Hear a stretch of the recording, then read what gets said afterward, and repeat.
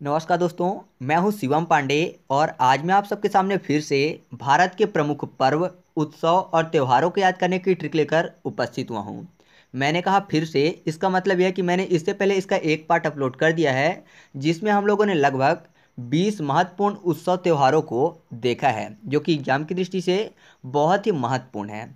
और आज हम लोग इस वीडियो में सभी उत्सवों को कंप्लीट करेंगे, जिससे उत्सव से आने वाले सभी क्वेश्चन हम आसानी से सॉल्व कर सकें। तो अगर आपने अभी तक उस वीडियो को नहीं देखा है तो उस वीडियो को ऊपर आई बटन में टच करके देख सकते हैं और इस वीडियो का जो पीडीएफ है, वह आपको टेलीग्राम ग्रुप में मिल जाएगा। ठीक है? तो आप उसे भी ज्वाइन कर सकते हैं। तो देरी ना करते हुए चलिए शुरू करते हैं। पहला है दुर्गा पूजा, जो कि पश्चिम बंगाल का प्रसिद्ध त्यौहार है। तो दुर्गा पूजा, जिसमें एक शब्द छिपा हुआ है दुर्ग और पश्चिम बंगाल में एक शब्द छिपा हुआ है बंगला। तो एक तरफ़ दुर्ग की बात हो रही है और दूसरी तरफ़ बंगले की बात हो रही है तो आपको पता है कि दोनों घर ही हैं, है ना? अगर देखें तो दुर्ग भी एक घर होता है और बंगला भी एक घर होता है। तो आप ऐसे याद कर सकते हैं कि जो दुर्गा पूजा है, वह किससे संबंधित है? पश्चिम बंगाल से। यहाँ से एक बात यह भी पूछी जाती है कि दुर्गा पूजा मनाया कब जाता है? तो ऑप्शन में हमेशा रहता है कि अश्विन माह में। तो आप इसको भी याद रखिएगा कि दुर्गा पूजा अश्विन माह में मनाया जाता है। अगला है बिहू त्यौहार, जो कि असम का प्रसिद्ध त्यौहार है। तो यह सबको पता है, क्योंकि जो बिहू है, वह असम का लोक नृत्य भी है तो सबको यह पता है। और जिसको नहीं पता तो असम में एक सब छिपा हुआ है, औसम। और बिहू में सब छिपा हुआ है, बहू। तो हमेशा लोग बहू के सामने क्या बोलते हैं कि बहू औसम है, यानी बहुत अच्छी है। कोई भी बहू के सामने बहू की बुराई नहीं करता। अगर बहू के बारे में बुरा बोलेगा तो बहू गुस्सा हो जाएगी और हो सकता है खाना भी ना दे।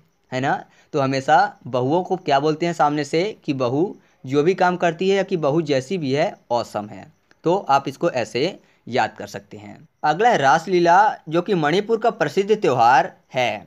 साथ ही लाई हरीबा सगाई और याओ संग भी मणिपुर के ही प्रसिद्ध त्योहारों में से हैं।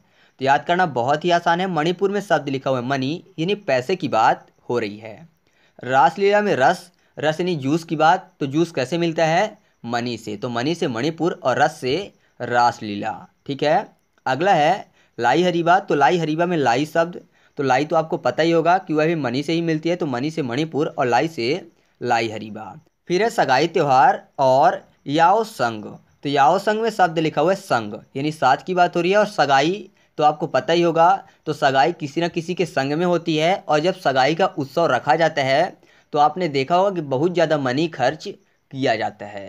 तो सगाई और याओ संग किसके प्रसिद्ध त्यौहार हैं? मणिपुर के। और हाँ मैं आपको बता दूँ कि सगाई मतलब वो शादी सगाई वाली बात नहीं हो रही है। यहाँ का एक त्यौहार है, इसका नाम है सगाई। ठीक है? तो गलत मत समझना। अगला है जलीकट्टू, जो कि तमिलनाडु का प्रसिद्ध त्यौहार है। तो यह सबको पता होगा, क्योंकि इस पर सुप्रीम कोर्ट ने रोक लगाई थी, क्योंकि बैलों के साथ युद्ध किया जाता था, जिससे पशुओं को भी नुकसान पहुँचता था। जिस कारण से सुप्रीम कोर्ट ने इस पर रोक लगाई थी। और जिसको नहीं याद है तो जली कट्टू में एक शब्द छिपा हुआ है जली कटी यानी बुरा भला बोलना। और अगर किसी भी व्यक्ति को कोई जली कटी सुनाता है तो ज़ाहिर सी बात है कि वह दोबारा मिलना पसंद नहीं करता। है ना? अगर किसी भी व्यक्ति को कोई जली कटी सुनाएगा तो वह दोबारा मिलना पसंद नहीं करेगा। तो मिलने से तमिलनाडु और जली कटी से जली कट्टू तो जली कट्टू कहाँ का प्रसिद्ध त्यौहार है दोस्तों? तमिलनाडु का। ठीक है? आगे बढ़ते हैं। अगला है त्यागराज त्यौहार, जो कि तमिलनाडु का ही प्रसिद्ध त्यौहार है। वैसे यह पूरे उत्तर भारत में मनाया जाता है और ख़ासकर यह तमिलनाडु के तंजावुर में मनाया जाता है, जिस कारण से हम लोग तमिलनाडु को याद करेंगे। तो त्यागराज में एक शब्द लिखा हुआ है त्यागना, है ना? त्यागराज में एक शब्द लिखा हुआ है त्याग देना, अर्थात किसी भी चीज़ को छोड़ देना।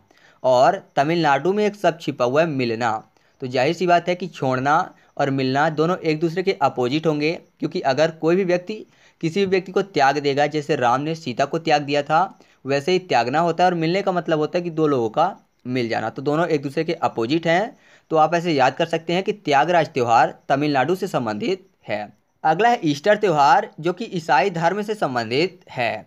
यह त्यौहार ईसा मसीह जी के पुनर्जीवित होने पर मनाया जाता है। मतलब इसी दिन ईसा मसीह जी पुनर्जीवित हुए थे, जिस कारण से यह उत्सव मनाया जाता है। तो इसको याद करना बहुत ही आसान है, क्योंकि ईस्टर में सब छिपा हुआ है ईस और ईसाई में भी ईस शब्द छिपा हुआ है। तो दोनों एक दूसरे से मैच करते हैं। तो ईस्टर त्यौहार किसका प्रसिद्ध त्यौहार है दोस्तों? ईसाई धर्म का। ठीक है? और ये चीज़ आप याद रखिएगा कि यह ईसा मसीह जी के पुनर्जीवित होने पर मनाया जाता है। मतलब उसी के लिए यह उत्सव मनाया जाता है। अगला है गुड फ्राइडे, जो कि ईसाई धर्म से ही संबंधित है। गुड फ्राइडे, जो कि ईसा मसीह जी के शहीद दिवस के रूप में मनाया जाता है। तो इसको कैसे याद करेंगे? गुड फ्राइडे में शब्द लिखा हुआ है गॉड, यानी भगवान की बात हो रही है, और ईसाई में सब छिपा हुआ है साईं। तो साईं बाबा को हम लोग भगवान से कम तो दर्जा देते नहीं हैं तो आप ऐसे याद कर सकते हैं कि दोनों साइड भगवान के ही नाम आ रहे हैं। तो गुड फ्राइडे किसका प्रसिद्ध त्यौहार है दोस्तों? ईसाई धर्म का। ठीक है? अगला है लोसांग उत्सव, जो कि सिक्किम का प्रसिद्ध उत्सव है। कैसे याद करेंगे? लॉसांग में एक सब छिपा हुआ लॉस। लॉस, यानी पैसे रुपए की बात हो रही है, क्योंकि लॉस किससे होता है? पैसे का होता है। और सिक्किम में सिक्का शब्द छिपा हुआ है तो आप ऐसे याद कर सकते हैं कि लोसांग कहाँ का प्रसिद्ध उत्सव है? सिक्किम का। ठीक है, आगे बढ़ते हैं। अगला है सागा दावा जो कि बौद्ध धर्म से संबंधित उत्सव है। साथ ही कालचक्र उत्सव भी बौद्ध धर्म से ही संबंधित है। कैसे याद करेंगे? कालचक्र में एक शब्द लिखा हुआ है काल और बौद्ध धर्म में एक शब्द लिखा हुआ है बुद्धि। तो आपने हमेशा सुना होगा, एक कहावत कि विनाश काले विपरीत बुद्धि, है ना? कई बार आपने ये सुना होगा, बहुत से लोगों के मुँह से कि विनाश काले विपरीत बुद्धि। तो काले से हो गया कालचक्र और बुद्धि से बौद्ध धर्म। तो कालचक्र किसका प्रसिद्ध त्यौहार है दोस्तों? बौद्ध धर्म का। और हमेशा यह कौन बोलता है? अपने सगे बोलते हैं, जो कि हमारा बुरा नहीं चाहते तो सगे से सागा दावा। क्योंकि वही समझाते हैं कि विनाश काले विपरीत बुद्धि हो गई है। आप ऐसा मत करो, ये गलत है। तो सगे से सागा दावा और कालचक्र दोनों किससे संबंधित हैं? बौद्ध धर्म से। या फिर आप सागा दावा को ऐसे भी याद कर सकते हैं कि दावा में एक सब छिपा हुआ दाव दाव पेच होता है ना, जो कि हमेशा बुद्धि से ही किया जाता है। तो इसको भी आप ऐसे याद कर सकते हैं। आगे बढ़ते हैं। अगला है उगादी पर्व, जो कि दक्षिण भारत से संबंधित है। तो इसको मैं आपको ट्रिक से नहीं बताऊँगा, क्योंकि कभी कभी इसमें तीन ऑप्शन आते हैं। कभी कर्नाटक पूछता है तो कभी आंध्र प्रदेश और कभी तेलंगाना। तो इसकी ट्रिक मैं आपको नहीं बताऊँगा, बस ध्यान रखिएगा। मैंने इसको लिस्ट से बाहर इसलिए नहीं किया है, जिससे एक भी क्वेश्चन पर्व से ना छूटे। तो आप याद रखिएगा कि जो उगादी है, उसके लिए तीन ऑप्शन आ सकते हैं। कौन कौन से? कर्नाटक, आंध्र प्रदेश और तेलंगाना। और तीनों एक साथ कभी नहीं आएँगे, एक ही आएगा तो सही जवाब आप टिक कर सकते हैं। आगे बढ़ते हैं। अगला गुड़ी पर्व जो कि महाराष्ट्र से संबंधित है। तो गुड़ी को याद करने के लिए कर लेते हैं गदा, ठीक है? गुड़ी को याद करने के लिए कर लेते हैं गदा और महाराष्ट्र में एक शब्द लिखा हुआ है अस्त्र, महान अस्त्र। तो गदा एक अस्त्र है तो गदा से हो गया गुड़ी पर्व और अस्त्र से महाराष्ट्र। तो आप ऐसे याद कर सकते हैं कि जो गुड़ी पर्व है, वो कहाँ का प्रसिद्ध त्यौहार है? महाराष्ट्र का। अगला विशु पर्व, जो कि केरल से संबंधित है। साथ ही मकर विलक्कू भी केरल से ही संबंधित है। तो कैसे याद करेंगे? केरल में अगर के से एक ही मात्रा को हटा दें तो शब्द मिलेगा कर। और कर से होता है कर्क रेखा, है ना? विशु से विश्वत रेखा और मकर से मकर रेखा। आपको पता है कि ये तीनों रेखाएँ हैं। कौन कौन सी? कर्क रेखा, मकर रेखा और विश्वत रेखा। तो आप ऐसे याद कर सकते हैं कि विशु, अर्थात विश्वत से विशु तो जो विशु पर्व है, कहाँ मनाया जाता है? केरल में और मकर तो मकर से मकर विलक्कू तो मकर विलक्कू भी कहाँ मनाया जाता है? केरल में। ठीक है? और अगर आप याद करना चाहते हैं कि कौन सी रेखा, अर्थात कर्क, मकर और विश्वत रेखा जो है, वह किन किन देशों से होकर गुजरती हैं तो उनकी ट्रिक पहले से अपलोड है। अगर आप चाहें तो देख सकते हैं बाकी आपकी इच्छा। तो चलिए आगे बढ़ते हैं। अगला हेसिम गोम्पा जो कि लद्दाख का प्रसिद्ध त्यौहार है। कैसे याद करेंगे? लद्दाख में एक शब्द लिखा हुआ दाख। तो दाख को याद करने के लिए कर लेते हैं दांत, ठीक है? और हेसिम में एक शब्द छिपा हुआ है, हँसी। तो अगर कोई भी व्यक्ति को हँसी आए तो ज़ाहिर सी बात है कि अगर वह ज़ोर ज़ोर से हंसेगा तो अगर उसके दांत हैं तो ज़ाहिर सी बात है दांत दिखेंगे, है ना? अगर कोई भी व्यक्ति हंसता है और अगर उसके दांत हैं तो दांत दिखेंगे तो दांत से हो गया दाख अर्थात लद्दाख, और हँसी से हेसिम गोम्पा। तो हेसिम गोम्पा कहाँ का प्रसिद्ध त्यौहार है दोस्तों?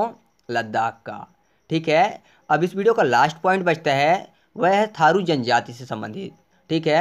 आपसे क्वेश्चन पूछा जाता है एग्ज़ाम में कि दीपावली को शोक के रूप में कौन सी जनजाति मनाती है? तो इसका सही जवाब होगा थारू जनजाति। आप इसको याद रखिएगा, मैंने इसीलिए इसको इंक्लूड कर दिया क्योंकि एग्ज़ाम में पूछा जाता है। तो इस तरह से अपना वीडियो कंप्लीट हुआ। मैं आपको बता दूँ कि अगर आपने भारत के पर्व, उत्सव और त्योहारों से संबंधित दोनों पार्ट देख लिए हैं तो एग्ज़ाम में आपसे इससे बाहर से क्वेश्चन नहीं पूछे जाएँगे। ठीक है? और मैं इसका एमसीक्यू टेस्ट भी करवाऊँगा तो आप उस टेस्ट को भी दीजिएगा, जिससे आपको पता चल सके कि कितने परसेंट आपको याद हो चुका है। और इसकी पीडीएफ आपको टेलीग्राम में मिल ही जाएगी। तो अगर आप चैनल पर नए हैं तो चैनल को सब्सक्राइब कर लीजिए और कमेंट करके बताइए कि आपको वीडियो कैसा लगा। तो चलिए मिलते हैं अगले वीडियो में। तब तक के लिए जय हिंद।